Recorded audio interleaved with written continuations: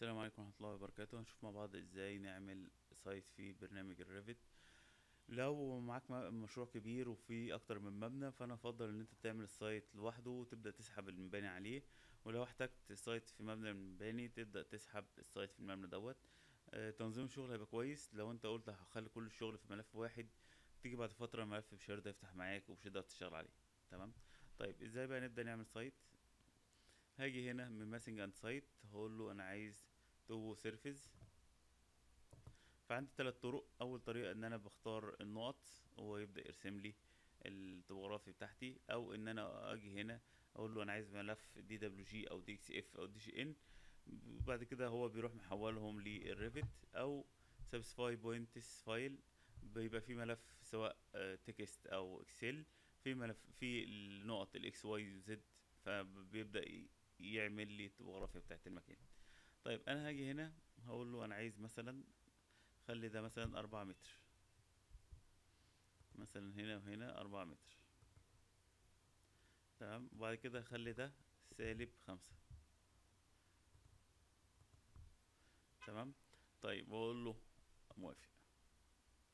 طيب لاحظ إن هو قطع هنا ده أكيد عشان ال section box. نلغي section box هيبدأ يظهر معايا بالشكل دوت. طيب ممكن أجي دلوقتي أقول له أنا عايز أضيف نقطة كمان يعني آه، ممكن أدخل هنا place point وأقول له خلي لي دي مثلا اتنين متر. هنا فهو يبدأ يغير لي المكان بحيث إن هو يناسب إن يبقى فيه هنا اتنين متر بالشكل دوت. تمام؟ هقول له okay وهبدأ أدخل في level 1 level 1 مش ظاهر معايا أي شغل في ال site فأقول له VV هلاقي عندي حاجتين مهمين. ال site تمام؟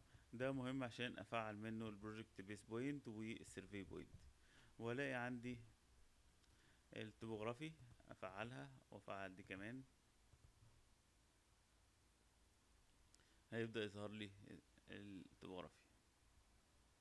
تمام؟ طيب لو في نقطة مش ظاهرة يبقى دي أكيد من ال crop view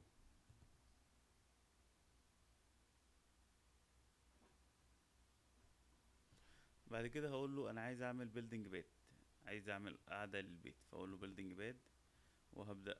في كذا طريقة ممكن ترسم بيها فأنا ممكن أختار أنا ان ارسم من خلال الحوايط بالشكل دوت. وبعد كده تريم.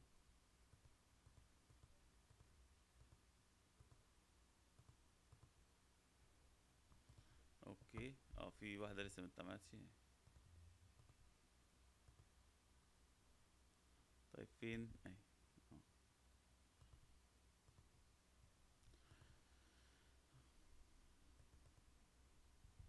طيب فين؟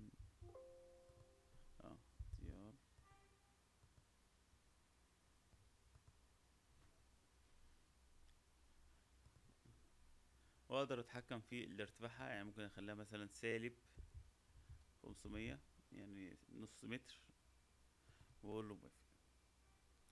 تمام؟ طيب دلوقتي عايز أبدأ أحدد مساحة معينة وليكن مثلا المساحه دي آه، طريق فهبدأ أحطه وأخلي ال material بتاعته أسفلت أو زرع فهاجي هنا من ال massing site هقول له أنا عايز أعمل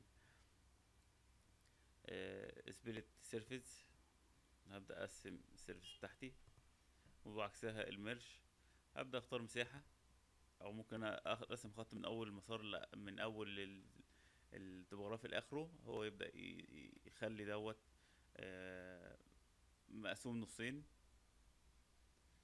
تمام؟ طيب أنا ممكن أختار الجزء دوت وأديله material مختلف. الجزء دوت أديله material مختلف عشان يبقى مميز عن بقية ال- ال site. مثلا grass okay. ممكن تخليه أسفلت فيبقى طريق. طيب عايزين نبدأ نحط بعض ال ال ال component فأقول له site component دي آه، مصدات آه، دي آه، التوربينات بتاعت الرياح wind wind power generator طبعا نبعد عن الشجر إلا لو هي أعلى من الشجر.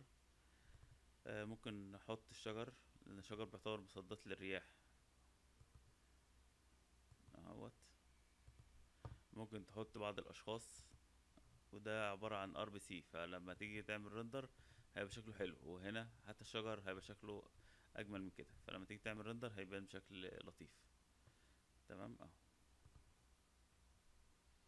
تمام؟ وتقدر تختار هو في أنهي دور يعني تقدر تحط مثلا في level 1 وتبدأ تحطه هنا في level 1 تمام؟ طيب. آه ممكن تحط مثلا parking component بيقول لي مش موجودة فأنت هتدخل على المكتبة بتاعتك. هتلاقيها في ال site هتلاقيها في ال parking تختار أي شكل من دول مثلا وتبدأ تحطه حسب عدد العربيات اللي عندك.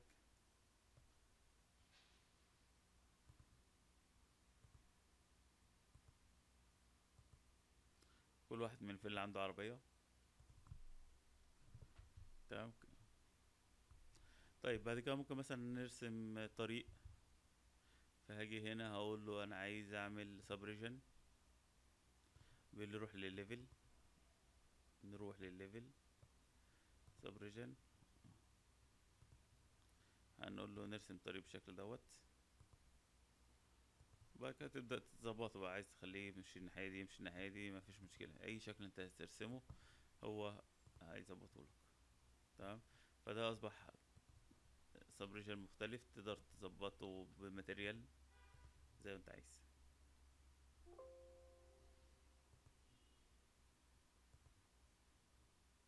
آه، أي material بقى زي ما زي ما أنت عايز. خلينا نخلي مثلا أسفلت مثلا.